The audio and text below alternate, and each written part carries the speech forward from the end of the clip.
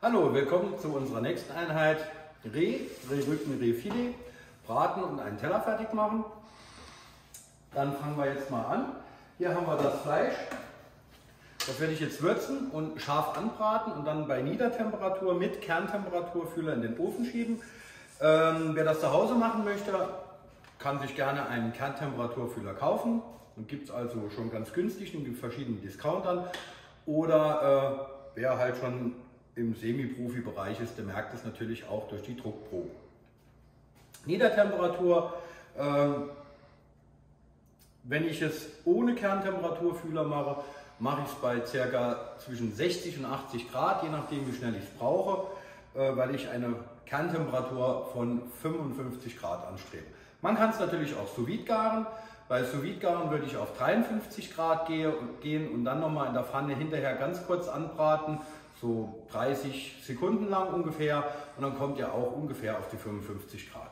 Okay, zuerst bitte immer dran denken, würzen, man kann es auch hinterher würzen. Ich halte nichts davon, der Herr Müller auch nicht, weil dieser Eigengeschmack eigentlich sofort durch das Salz schon unterstützt wird. Und wenn man es später macht, eher weniger, dann hat man dieses aufgesetzte Salz und für mich ist es auch ein unangenehmes Mundgefühl dann, vor allem wenn man mehr Salz nimmt.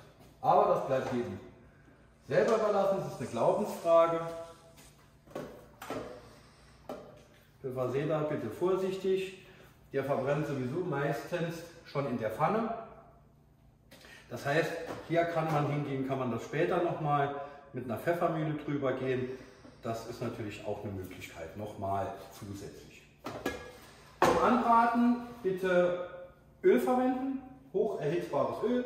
Sonnenblumenöl geht, Palmöl geht oder Palmfett geht. Ja? Und halt entsprechend heiß. Oder was natürlich auch geht, ist geklärte Butter. Habe ich zwar da, aber da ich die nachher noch brauche, verwende ich die jetzt nicht mehr, sonst müsste ich noch ein bisschen klären. Das war es auch schon mit dem Öl, was ich so brauchen werde.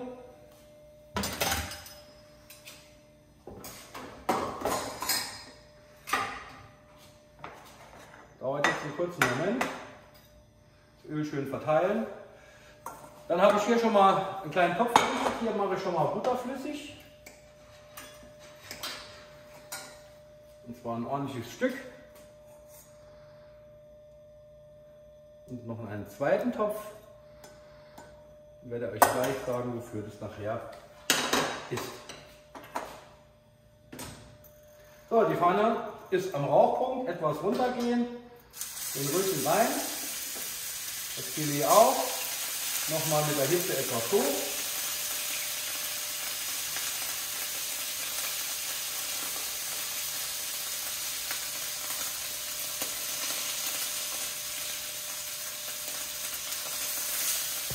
Schon mal rumdrehen.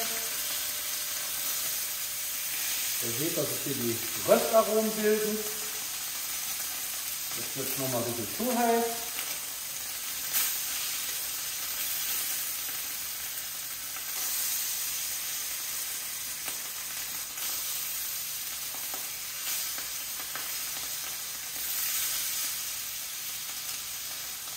jetzt reicht mir die Resthitze eigentlich schon aus. Langsam. Hier noch mal ein kleines Stückchen nachbraten.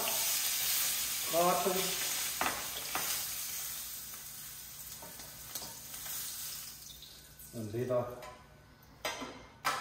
haben wir das Reh hier schon fertig. Und das schieben wir dann nachher in den Ofen. So, insgesamt habe ich jetzt drei Töpfe mit Butter schon mal aufgestellt. Lasse das oder zerlasse es. Diese Butter mit den Zwiebeln hier, die brauchen wir für die Herzogin-Kartoffeln, sogenannte Pomme Duchesse. Ich pimpe die mit ein bisschen Zwiebeln.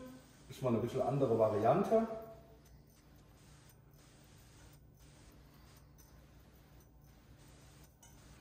Dann haben wir hier noch ein Töpfchen, auch mit Butter. Hier machen wir ein paar Brünnwas rein.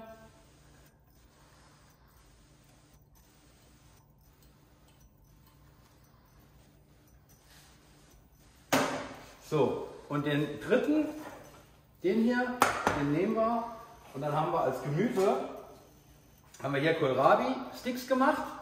Die machen wir dort rein, die sind nicht vorgegart, das muss man nämlich nicht tun. Werden wir hier gleich eine Prise Salz dazugeben. Wenn man hat, ein Gemüsefond oder einen Schluck Wasser und einfach zugedeckelt ziehen lassen bzw. leicht sortieren, damit die weich werden. Und die werden wir nachher noch weiter verarbeiten. So, gehen wir mal auf den Zwiebel hier ein bisschen Feuer drauf. Bei den anderen auch.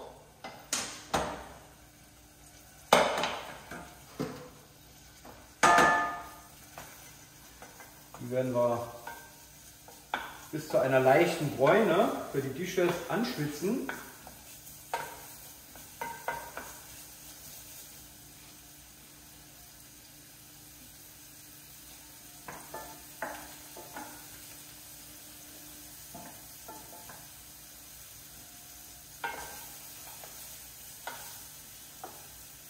Hier braucht man sie also nicht extra als Grünwurst zu schneiden. Das reicht auch, wenn man hier Julien hat. Die Arbeit kann man sich sparen, weil ich das nachher mixen werde.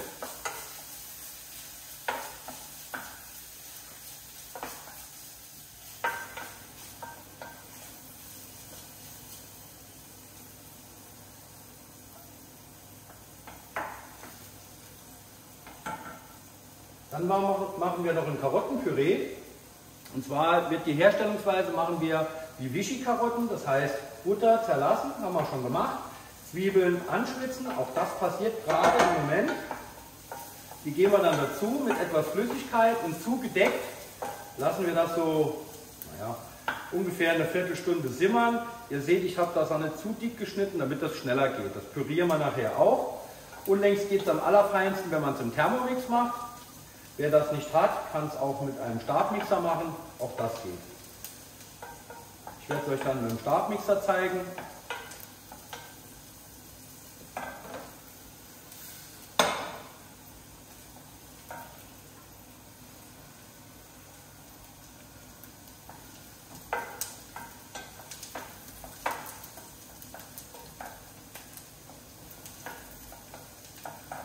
So, die geben wir jetzt hier dazu. Hier werden wir schon mal ansalzen. Etwas Flüssigkeit dazu. Und dann fehlt noch eine Prise Zucker, die wir noch dazugeben. Die hier sind fertig.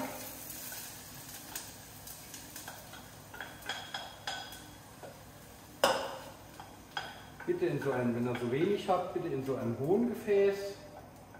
Dann lässt sich besser mixen als in einer Schüssel.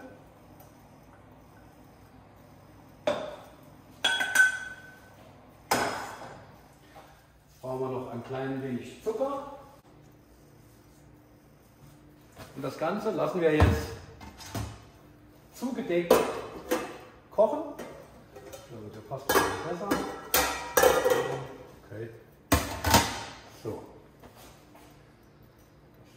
Reichen. So, das stellen wir auf die Seite. Kommen wir zu unserem geschmacksgebenden, mit geschmacksgebenden Beilage. Hier haben wir eine Birne, die schon gewaschen ist. Die werden wir halbieren. Nehmen das Kerngehäuse heraus mit einem Parisin-Ausstecher.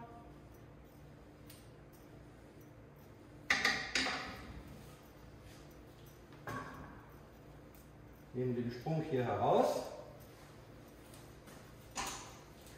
Haben wir noch ein kleines Messer.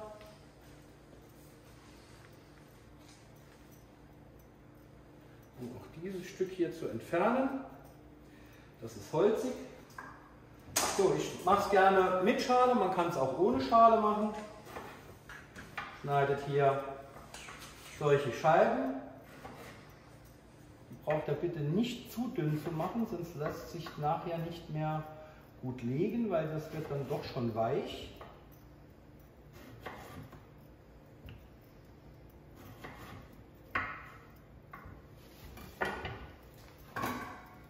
Auch hier bitte wieder etwas Butter, auch nicht zu knapp.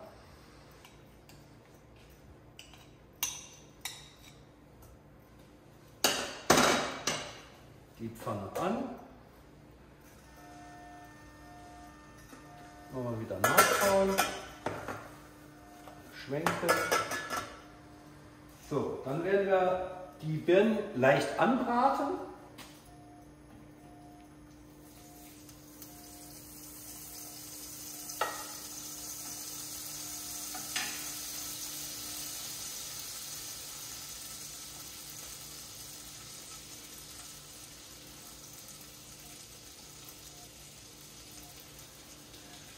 Kann natürlich auch Rotweinbirnen dazu machen oder solche kleinen Birnen gibt es ja auch, die man dann halbieren, aushöhlen kann und füllen könnte. Das wäre auch eine Möglichkeit. Und wir machen mal diese Variante.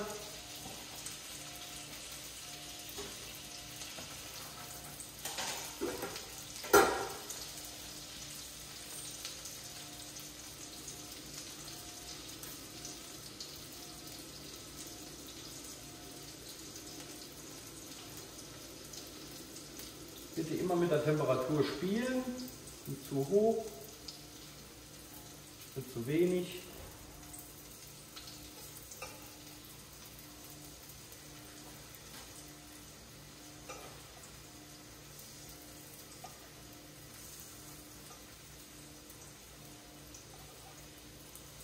Ihr seht, hier kommen noch kleine braune Punkte zum Vorschein.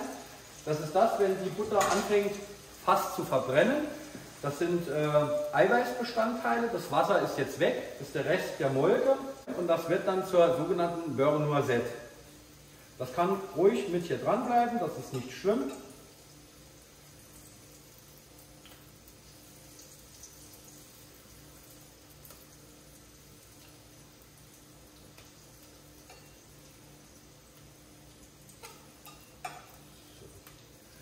Könnte man hier noch ein kleines bisschen Zucker drüber streuen und das ein kleines bisschen zu karamellisieren. Aber bitte nur, wenn die nicht zu weich ist, die Birne. Ganz wenig nur. Das ist schon ausreichend, weil die andere Seite müssen wir auch noch machen. Noch einmal rumdrehen und dann können wir das eigentlich dann schon stehen lassen und vergessen. Dann tun wir das später nur noch einmal regenerieren.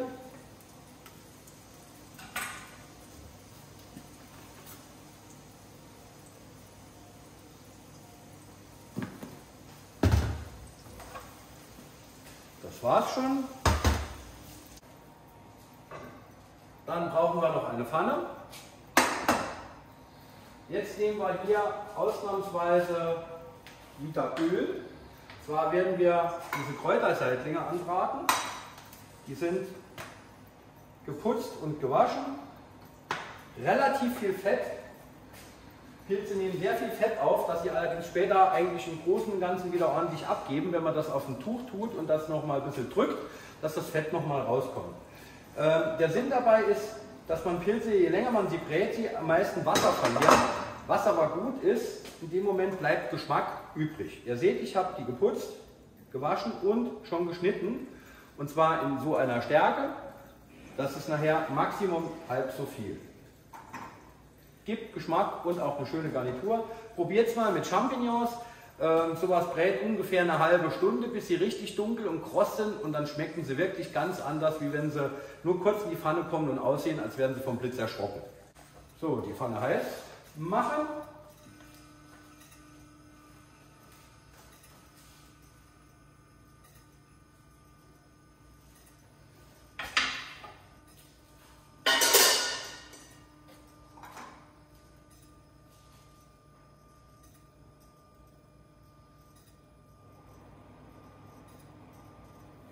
Pilze einlegen. Die werden wir auch gleich salzen, aber bitte Vorsicht. Deswegen sage ich auch oft ansalzen. Durch das, dass sie Feuchtigkeit verlieren, ungefähr 50 Prozent, das war das erste, erste Feuchtigkeit, ungefähr 50 Prozent, äh, brauchen wir also praktisch rein theoretisch halb so viel Salz. Das heißt, ich mache jetzt hier wirklich recht vorsichtig und nicht so viel. Ihr seht schon, hier bräunt schon, aber die Platte ist eigentlich schon aus.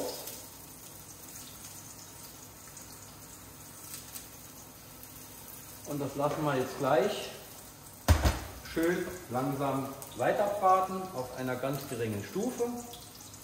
Drehen wir die Pilze noch einmal. Die muss man also öfter drehen. Ja.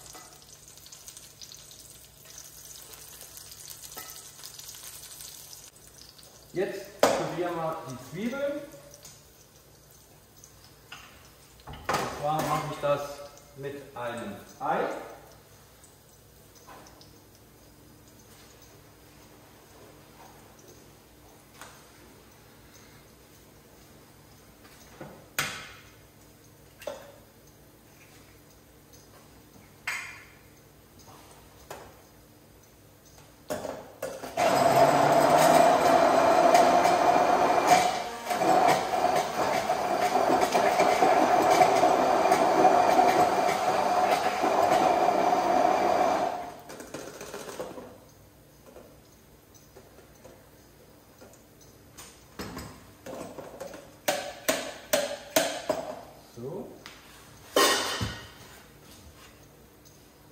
Dann haben wir hier für die Duchesse äh, Kartoffeln gekocht und schon mal durchgedrückt. Dann nehmen wir hier einen Esslöffel Mehl dazu.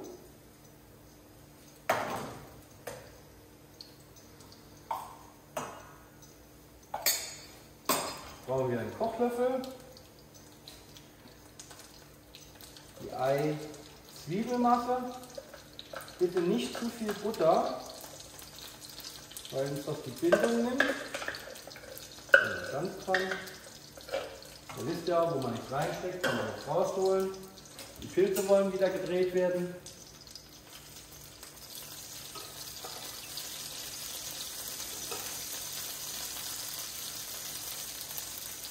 So, brauchen wir Salz.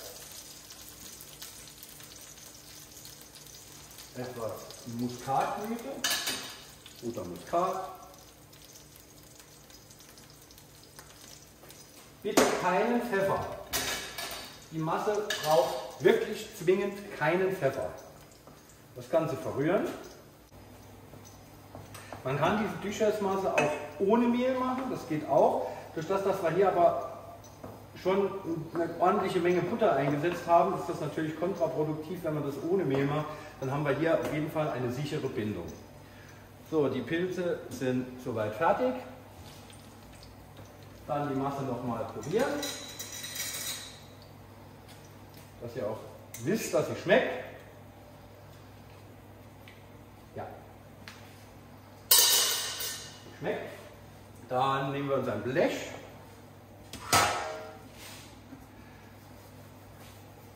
mache es immer gerne mit Butter unten drunter. Man kann aber auch Backpapier oder eine Silbermatte nehmen. Das geht auch.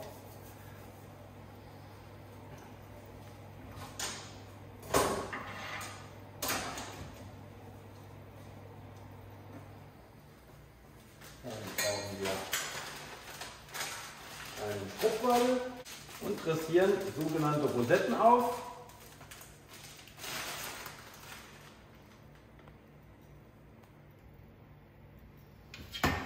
So könnte das aussehen, ja.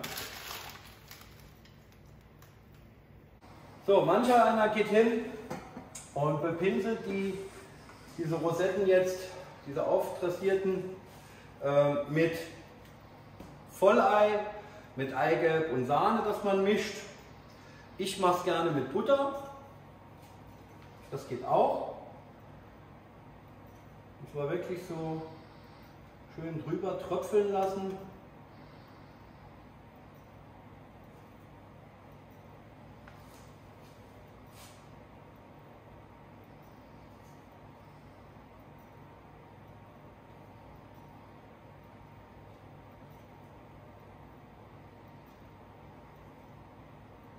Und die schieben wir dann so bei 180 Grad circa, circa 10 Minuten in den Ofen bei Heißluft. Jetzt schauen wir mal nach unseren Karotten.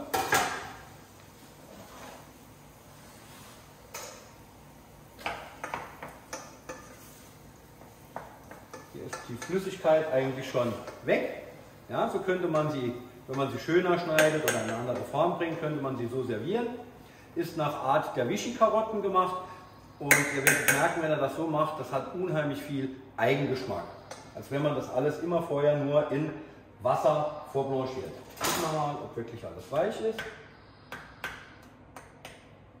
Fühlt sich so an. Dann brauchen wir das Wasser hier nicht mehr.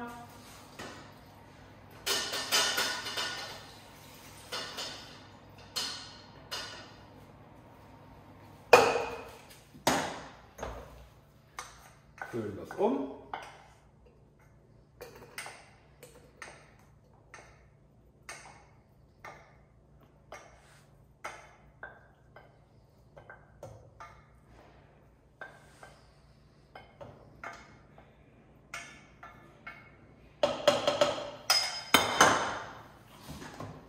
und werden das Ganze im Stabmixer durchmixen.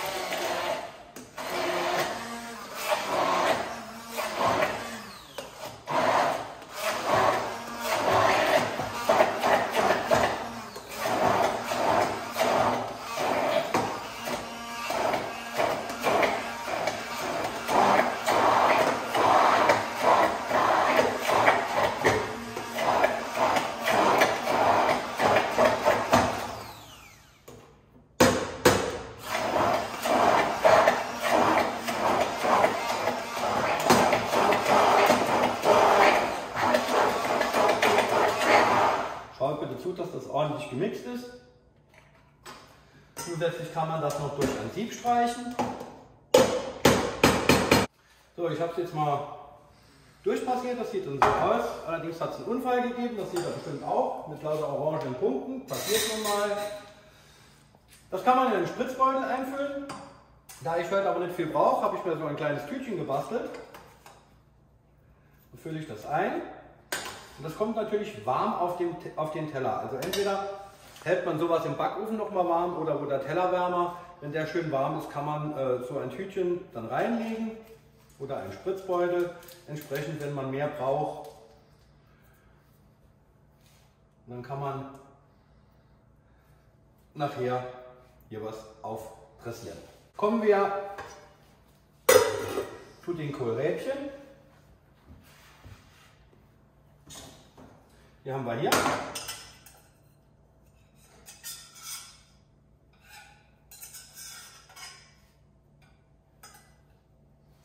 Den Topf bitte noch nicht versorgen. Haben wir vier Stück übereinander.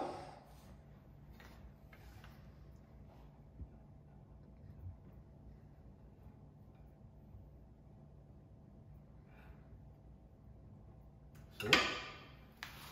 Jetzt habe ich hier Schnittlauch, den ich 10 Sekunden in kochendes Wasser getan habe, dann ins Eiswasser. Bitte nicht länger, sonst geht er kaputt. Dann nehme ich diesen Stapel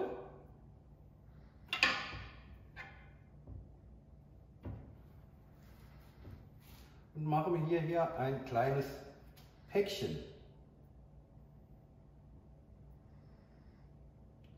Ist halt unlängst immer etwas mehr Arbeit am Anfang, aber dafür geht es nachher viel schneller und sauberer beim Anrichten. Also ich werde auf jeden Fall schon mal, wenn es geht, einen Doppelknoten machen. Man kann auch, wenn der Schnittlauch länger ist, eine Schleife machen. Das würde gehen. Sieht dann so aus. So haben wir das jetzt gemacht. Das setzen wir nachher auch auf ein Blech, tun das nochmal regenerieren oder man macht hier nochmal in diesen Fond, diese Butterfond mit hinein, gießt nochmal ein ganz klein wenig Flüssigkeit an und dann tun wir das nachher nur nochmal erhitzen. So, ich habe das Fleisch gerade rausgenommen. Ich mache aber jetzt zuerst nochmal die Soße fertig. Die Pilze habe ich auch wieder angestellt.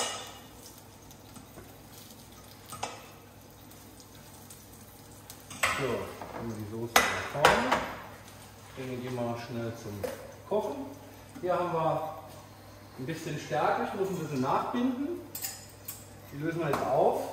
Warum ihr euch wundert, warum das so rosa ist, oder dunkelviolett, sagen wir es mal so. Ich habe das mit Rotwein gemacht. Also muss das nicht zwingend mit Wasser machen.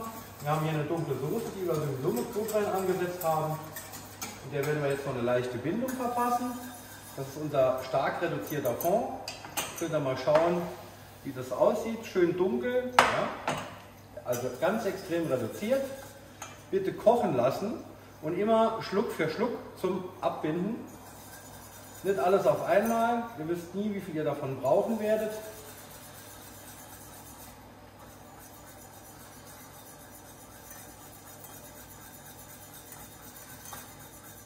Jetzt machen wir noch ein paar Preiselbeeren hinein.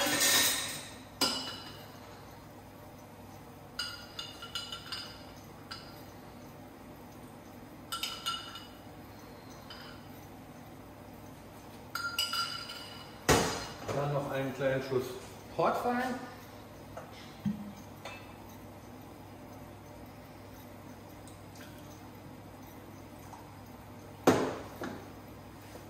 Und um die Süße etwas zu unterstützen, machen wir noch einen Schuss Cassis rein.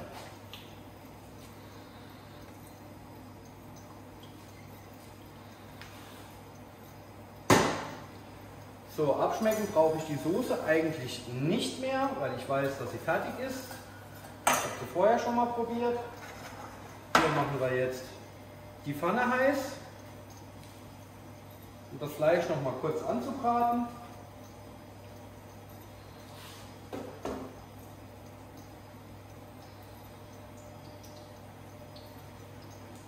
Wie ihr merkt, ist das nicht sonderlich heiß. 55 Grad ist nicht so heiß. Und die Kerntemperatur steckt hier im Filet, weil das Filet das dünnere Stück ist und das zuerst gut ist. Deswegen lasse ich das Rückenstück noch etwas länger in der Pfanne.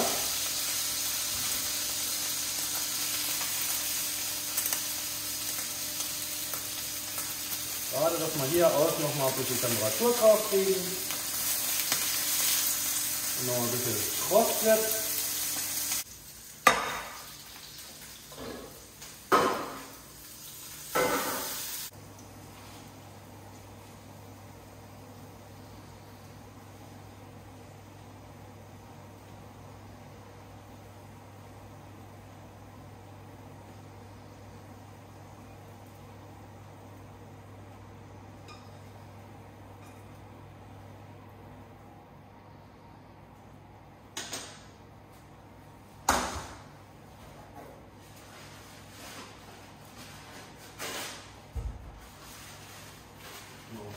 abtupfen. Nicht zu viel Fett.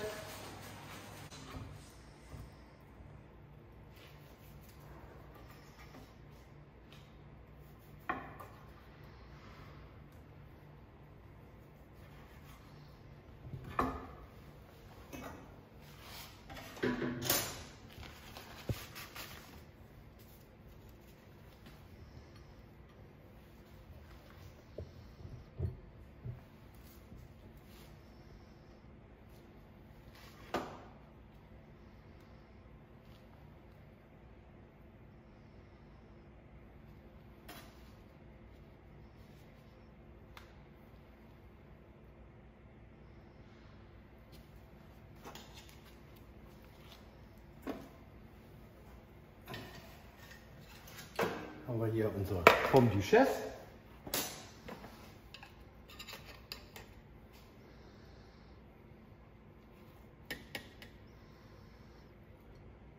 Machen wir hier hin. Unsere Soße.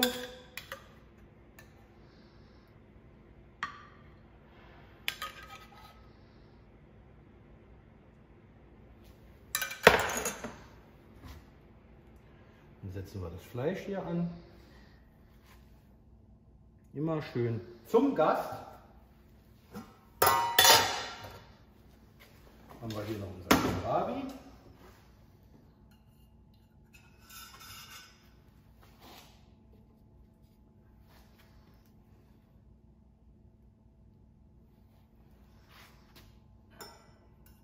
Ich glaube, eins reicht.